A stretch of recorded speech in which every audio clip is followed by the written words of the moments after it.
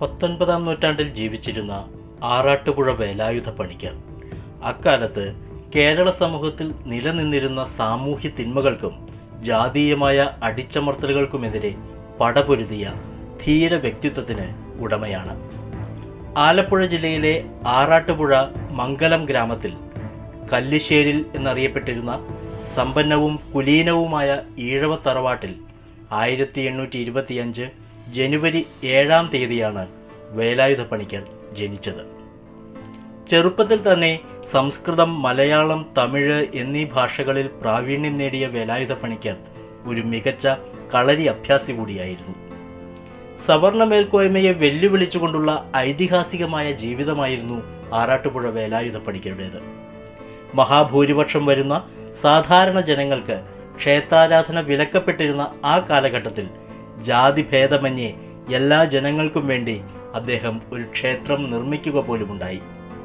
ആയിരത്തി എണ്ണൂറ്റി അൻപത്തിരണ്ടിൽ കാർത്തികപ്പള്ളിയിലെ ഇടക്കാട് മംഗലത്ത് നിർമ്മിച്ച ഈ ശിവക്ഷേത്രം ജ്ഞാനേശ്വരം ക്ഷേത്രമെന്നാണ് അറിയപ്പെട്ടത്. മാവേലിക്കര കണ്ടിയൂർ മറ്റത്തിൽ വിശ്വനാഥൻ ഗുരുക്കൾ എന്ന അബ്രാഹ്മണനായ തന്ത്രിയായിരുന്നു ഇവിടെ പ്രതിഷ്ഠ നടത്തിയത്. ക്ഷേത്രത്തിൽ നിത്യപൂജയ്ക്കായി നിശ്ചയിക്കപ്പെട്ടവരും ബ്രാഹ്മണരായിരുന്നില്ല. ഇതിനുശേഷം ആയിരത്തി എണ്ണൂറ്റി അൻപത്തി മൂന്നിൽ ആലപ്പുഴ ജില്ലയിലെ ചേർത്തല തണ്ണീർമുക്കം ചെറ്റുവാരണം കരയിലും പണിക്കർ ഒരു ശിവക്ഷേത്രം നിർമ്മിച്ചു. ക്ഷേത്ര നിർമ്മാണവും വിഗ്രഹപ്രതിഷ്ഠയും മറ്റും അബ്രാഹ്മണർക്ക് വിധിച്ചിട്ടില്ലെന്ന വാദമുന്നയിച്ചുകൊണ്ട് പണിക്കരുടെ ശ്രമങ്ങളെ മേൽജാതിക്കാർ മുടക്കാൻ ശ്രമിച്ചെങ്കിലും തിരുവിതാംകൂർ രാജാവിന്റെ പിന്തുണയുണ്ടായിരുന്നതിനാൽ ഈ എതിർപ്പുകളെ മറികടക്കുവാൻ അദ്ദേഹത്തിന് കഴിഞ്ഞിരുന്നു.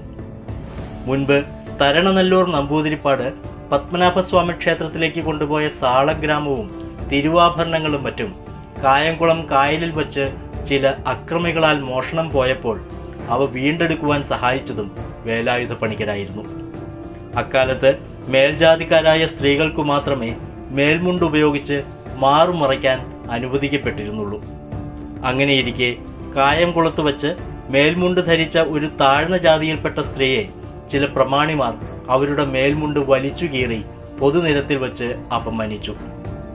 ഈ വിവരമറിഞ്ഞ വേലായുധ പണിക്കർ കുറെ മേൽമുണ്ടുമായി കായംകുളത്തെത്തുകയും അവിടെ തൊഴിലാളി സ്ത്രീകളെ മേൽമുണ്ട് ധരിപ്പിച്ചുകൊണ്ട് പ്രമാണിമാരെ വെല്ലുവിളിക്കുകയും ചെയ്തു. ആയിരത്തി എണ്ണൂറ്റി അൻപത്തി ഒൻപതിൽ നടന്ന ഈ സംഭവമാണ് ഏത്താപ്പ് സമരം എന്നറിയപ്പെടുന്നത്. ഇതുപോലെ തന്നെ ആയിരത്തി എണ്ണൂറ്റി അൻപത്തി ഒൻപത് വരെ തിരുവിതാംകൂറിൽ ബ്രാഹ്മണ സ്ത്രീകൾക്ക് മാത്രമേ മൂക്കൂത്തി ധരിക്കുവാനുള്ള അവകാശമുണ്ടായിരുന്നുള്ളൂ. ആയിരത്തി എണ്ണൂറ്റി അൻപത്തി ഒൻപത് അവസാനമായപ്പോഴേക്കും നായർ സ്ത്രീകൾക്കും മൂക്കൂത്തി ധരിക്കുവാനുള്ള അവകാശം രാജാവ് അനുവദിച്ചു കൊടുത്തു. ഇതിനെ തുടർന്ന് സമ്പന്നരായ ചില ഈഴവ കുടുംബങ്ങളിലെ സ്ത്രീകളും മൂക്കൂത്തി ധരിക്കുവാൻ തുടങ്ങി.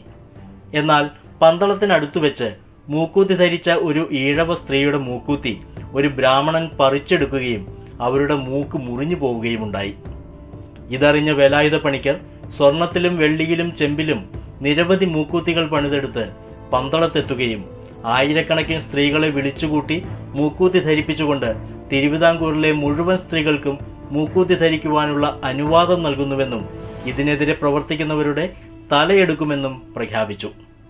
ആയിരത്തി എണ്ണൂറ്റി അറുപതിൽ വേലായുധ പണിക്കർ നടത്തിയ ഈ പ്രഖ്യാപനം മൂക്കൂത്തി വിളംബരം എന്നാണ് അറിയപ്പെടുന്നത്.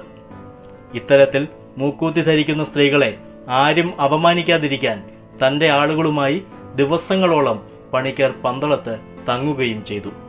ആയിരത്തി എണ്ണൂറ്റി അറുപത്തിരണ്ടിൽ മേൽജാതിക്കാരുടെ എതിർപ്പിനെ മറികടന്ന് ഈഴവ സമുദായാംഗങ്ങളെ ചേർത്ത് വേലായുധ പണിക്കർ ഒരു കഥകളി യോഗം സ്ഥാപിക്കുകയുമുണ്ടായി.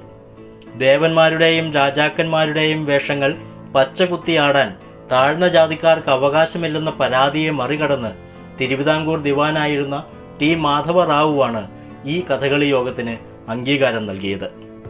കേരളത്തിന്റെ ചരിത്രത്തിൽ രേഖപ്പെടുത്തിയ ആദ്യത്തെ കർഷക സമരം സംഘടിപ്പിച്ചതും ആറാട്ടുപുഴ വേലായുധ പണിക്കരായിരുന്നു. അക്കാലത്ത് അച്ചിപ്പുടവയെന്ന് വിളിച്ചിരുന്ന കണങ്കാൽ വരെയുള്ള മുണ്ടുടുക്കാൻ ഈഴവ സ്ത്രീകൾ അനുവദിക്കപ്പെട്ടിരുന്നില്ല. ഈ ആചാരത്തെ അംഗീകരിക്കാതെ അച്ചിപ്പുടവയും ഉടുത്ത് കായംകുളത്തിനടുത്തുള്ള പത്തിയൂർ വയൽ വരമ്പിലൂടെ നടന്നുപോയ ഒരു ഈഴവ യുവതിയെ മേൽജാതിക്കാർ അധിക്ഷേപിക്കുകയുണ്ടായി. ഇതറിഞ്ഞ പണിക്കർ തൊഴിലാളികളെ കൊണ്ട് ജന്മിമാരുടെ വയലിലെയും തെങ്ങിൻ തോപ്പിലെയും പണികൾ നിർത്തിവയ്പ്പിക്കുകയും തൊഴിലാളികൾക്ക് നിത്യച്ചെലവിനുള്ള പണം നൽകുകയും ചെയ്തു. പണിക്ക് ആളെ കിട്ടാതെ വലഞ്ഞ ജന്മിമാർ ഒടുവിൽ ഈ സമരത്തിന് മുൻപിൽ മുട്ടുമടക്കുകയും അപമാനിക്കപ്പെട്ട യുവതിയോട് മാപ്പ് പറയേണ്ടി വരികയും ചെയ്തു. ആയിരത്തി എണ്ണൂറ്റി അറുപത്തി ആറിലാണ് ഈ സംഭവം നടന്നത്. ഇത്തരത്തിലുള്ള പ്രവർത്തികൾ മൂലം പണിക്കർ നിരവധി ശത്രുക്കളെയും സമ്പാദിച്ചിരുന്നു. അങ്ങനെയുള്ള ഒരു അക്രമി സംഘത്തിന്റെ ആക്രമണത്തിലാണ് ആറാട്ടുപുഴ വേലായുധ പണിക്കർ കൊല്ലപ്പെടുന്നത്. ആയിരത്തി എണ്ണൂറ്റി എഴുപത്തിനാല് ജനുവരി മൂന്നിന് രാത്രിയിൽ തന്റെ തണ്ടുവച്ച വള്ളത്തിൽ കായംകുളം കായൽ കടക്കുമ്പോഴാണ് അദ്ദേഹത്തിന് ആക്രമണം നേരിടേണ്ടി വന്നത്. പണിക്കരുടെ തന്നെ ഒരു അകന്ന ബന്ധുവായിരുന്ന തൊപ്പിയിട്ട കിട്ടൻ എന്നയാളാണ് വള്ളത്തിൽ ഉറങ്ങിക്കിടക്കുകയായിരുന്ന വേലായുധ പണിക്കരെ ചതിയിൽ കുത്തി കൊലപ്പെടുത്തിയത്. കൊല നടത്തിയതിനു ശേഷം കിട്ടൻ രക്ഷപ്പെട്ടുവെന്നും അതല്ല നെഞ്ചത്ത് കുത്തേറ്റ പണിക്കർ മരിക്കുന്നതിന് മുൻപ് കിട്ടനെ കഴുത്തു ഞെരിച്ച് കൊലപ്പെടുത്തുകയാണ് ഉണ്ടായതെന്നും ഉള്ള വിഭിന്നങ്ങളായ കഥകൾ പ്രചാരത്തിലുണ്ട്. എഴുതപ്പെട്ട ചരിത്രത്താളുകളിലേക്കാൾ കൂടുതൽ മധ്യ തിരുവിതാംകൂർ പ്രദേശങ്ങളിൽ മിത്തും യാഥാർത്ഥ്യവും കൂടിക്കലർന്ന വാമൊഴി കഥകളിലൂടെയാണ് ധീരനും തന്റെടിയുമായിരുന്ന ഈ പോരാളി ഓർമ്മിക്കപ്പെടുന്നത്.